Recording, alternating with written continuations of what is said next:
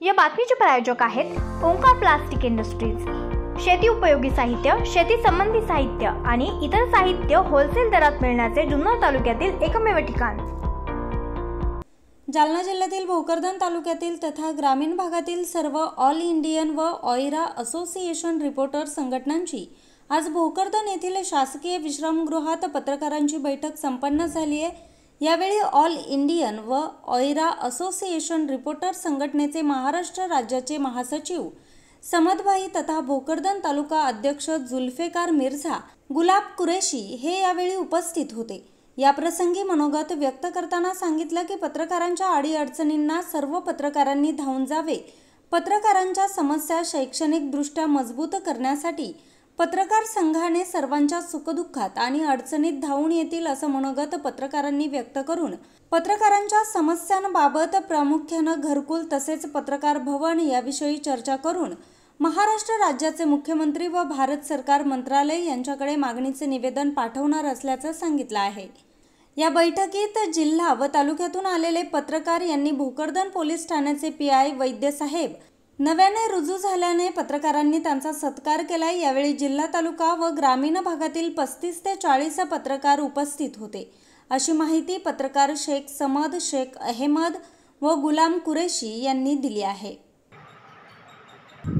आज जो यो कार्यक्रम रखे हुआ है आयरा संगठने का आज क्या मैसेज दिया है आप पत्रकार ने और क्या माहिती है? इसके लिए आप क्या कहेंगे? आज हमारी मीटिंग लेने का उद्देश्य ये है कि शासन की तरफ़ से जो गवर्नमेंट गवर्नमेंट की तरफ़ से जो पत्रकारों को जो सुविधा होना चाहिए, जैसे जो निर्माण हुआ। तो इस ताल्लुक से इस विषय पर आज मीटिंग बुलाई गई है। इसमें हमारे अध्यक्ष जुल्फिकार मिक साहब हैं आयरा पत्रकार संघ, महाराष्ट्र के सचिव समझ भाई है, उसके बाद समझ साहब है, उसके बाद इसरार साहब है पठान जुनेद पठान है रईस सर है और हमारे दीगर साथी है तो आज हम शासन शासन को जो प्रपोजल दाखिल करने वाले हैं, उस तारुक से आज हम मीटिंग रखे हैं और हमारी संगठन के लिए एक अच्छा मैसेज एक अच्छा समाज में काम करने की हमारी इच्छा है। या ठिकाणी आपले आयरा संघटनेचे महासचिव संमतभाई दोन शब्द बोलतील.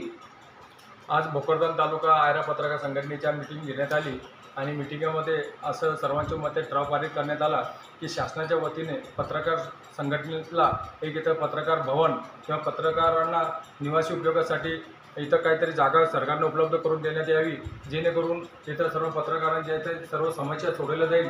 यासाठी एक बेसमेंट म्हणून इथे पत्रकार भवन बांधण्यात यावं असं आम्ही सरकारकडे मागणी करणार आहोत.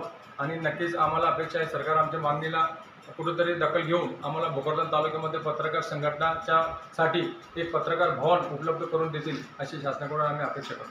संघटनेच्या माध्यमातून पत्रकार किंवा जनतेला काय उपदेश देणार आपण? पत्रकार हे शासनाचा तिसरा डोळा म्हणून इथं काम करत असतात. तर सर्व कार्यालयाचे जे अधिकारी पदाधिकारी हे पत्रकारांना त्यांना नेहमीच आपले काही समस्या आहे किंवा त्या त्यांच्याकडे ते तसं प्रेस रिपोर्ट या माध्यमातून त्यांच्याकडून ते प्रकाशित करण्यासाठी प्रेस रिपोर्ट द्या पत्रकार हे द्यावी प्रेस नोट द्यावी जेणेकरून सर्व पत्रकार आमचे ते त्याचे त्याच्या आधारे पेपरामध्ये असेल किंवा प्रिंट मीडियामध्ये असेल ते त्यांचे वृत्त प्रकाशित करून जनतेला न्याय देण्यासाठी आम्ही सर्व काम करतो. न्यूज रिपोर्टर हरी बोराडे आज चोवीस तास जालना.